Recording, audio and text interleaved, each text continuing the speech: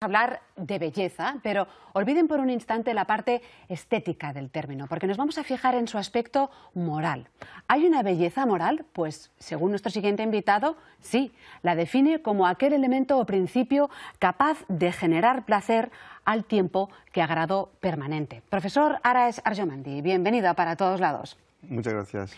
Es profesor de ética en la Universidad Autónoma de Barcelona y acaba de publicar un libro que nos ha llamado mucho la atención. Gozar de la vida por medio de actos.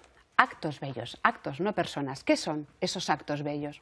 Bueno, mm, podríamos definirlos eh, como aquellos actos que mm, van más allá del sujeto, es decir, que tienen una impronta, dejan una huella más allá del momento y de la persona que, las realiza. Por tanto, son actos que siempre tienen que beneficiar de algún modo a otras personas. Por ejemplo.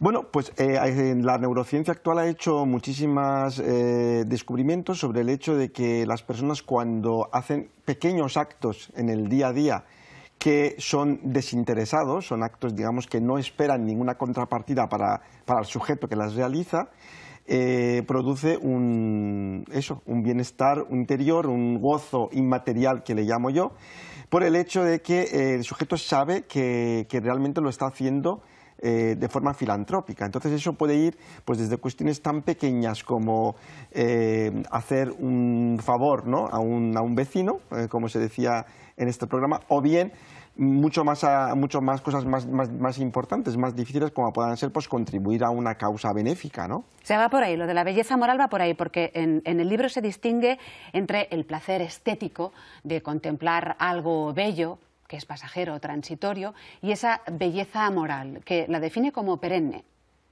Sí, eh, se trata de intentar buscar eh, un tipo de experiencias en, el, en, la vida cotidiana que al mismo tiempo que nos procuren felicidad, que nos procuren una satisfacción con nuestra existencia, con nuestra vida, nos produzcan también goce, ¿no? un gozo, un deleite, un placer. El problema de los placeres materiales o eh, simplemente pues, cutáneos, ¿no? corporales, es que eh, son momentáneos, son fugaces y en el momento en que no existe ya el objeto, digamos, que nos produce placer, pues desaparece.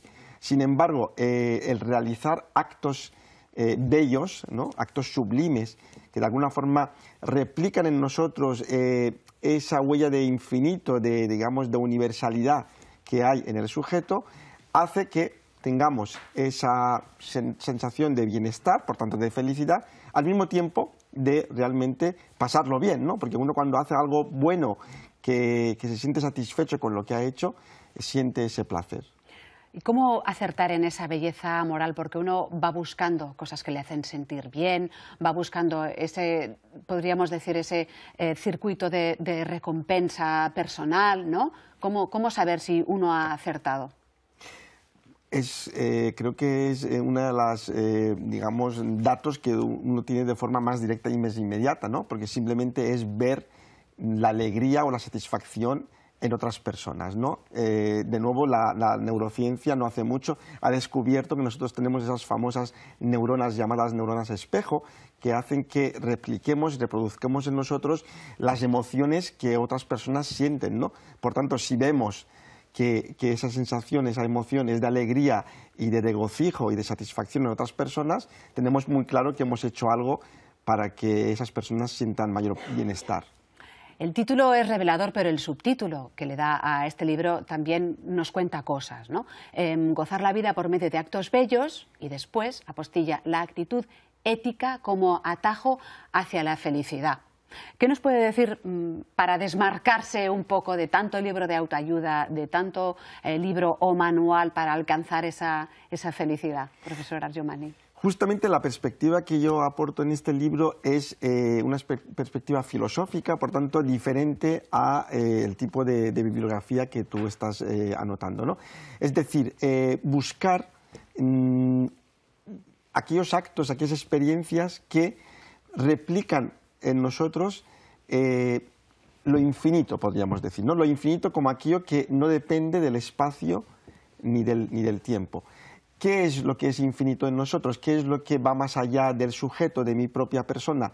Aquello que pertenece a la especie humana, ¿no? La especie como tal. Eh, por tanto, podríamos decir que hoy en día, eh, justamente, mm, es por vez primera, podemos decir, que se puede saber, se puede conocer exactamente qué es la filantropía, ¿no? el amor por la propia especie, porque hoy en día es cuando, a través de la exploración del genoma humano, sabemos que solamente hay una raza, solamente hay una especie humana. ¿no? Entonces, eh, realmente los actos bellos, los actos que producen esa experiencia de lo sublime en nosotros, son aquellos que son éticos, es decir, son, siempre procuran el beneficio, el bienestar de otras personas sin espera de contrapartidas. Eh, se apoya mucho en la ciencia, se apoya mucho en experimentos ¿no? que comprueban lo que, está, lo que esto está diciendo, pero también es cierto que en la condición humana eh, hay dolor, hay violencia, hay todos esos elementos que también están y que también cuestionan esa belleza, ¿no? puede ser un poco que se sienta incomprendido, que digan, bueno, eso no, tiene ese nombre. Bien, eh, se trata precisamente de, a través de nuestra actuación, intentar sortear o superar eh, los momentos de dolor. Sabemos que la felicidad justamente eh, se distingue de la alegría o, del, o de otros tipos de emociones positivas por el hecho de que está en la base de todas nuestras emociones. Entonces uno puede ser feliz incluso en momentos de dificultad, de momentos de adversidad. ¿Qué es lo que hace que uno se sienta feliz incluso con el dolor? Cuando se da cuenta que hay algo en sí mismo que va más allá de ese dolor, hay algo que va a perdurar, que va a beneficiar al entorno, al medio, a otras personas o incluso a, su propia persona ¿no? en otro emplazamiento espacial y temporal. Por tanto, la felicidad realmente es el modo de poder eh, sobrellevar mejor también las adversidades.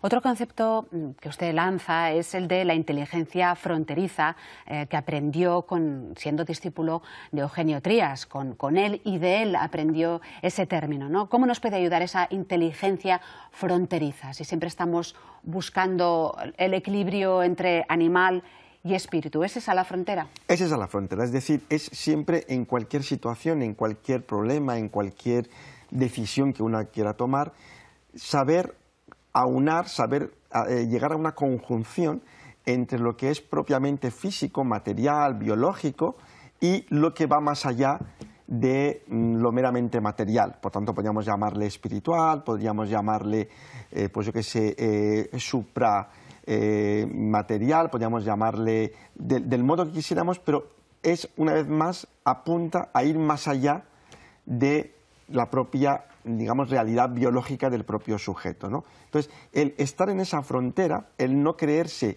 ni más allá de lo humano, por tanto no creerse dioses y todopoderosos, ni tampoco caer en la materialidad y en la animalidad biológica que nos caracteriza, el, en, todo momento mantenerse en esa franja fronteriza, que es el gran reto del ser humano, es lo que eh, también nos va a ayudar a conseguir la felicidad. Hablando de comportamientos, el comportamiento político de los políticos, esa lucha por el poder que también es, tan humana, ¿cree que hay belleza en alguna parte?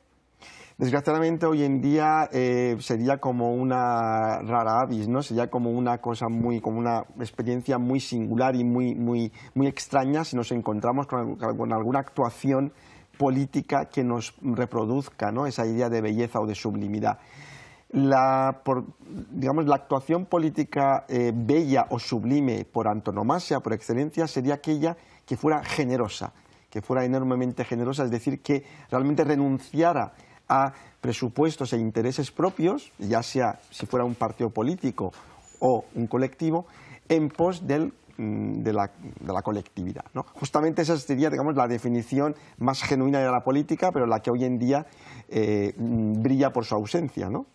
Pues profesor Arash Arjomandi, lo dejamos ahí, nos quedamos con ese concepto y le damos las gracias por estar hoy aquí para todos. Gracias.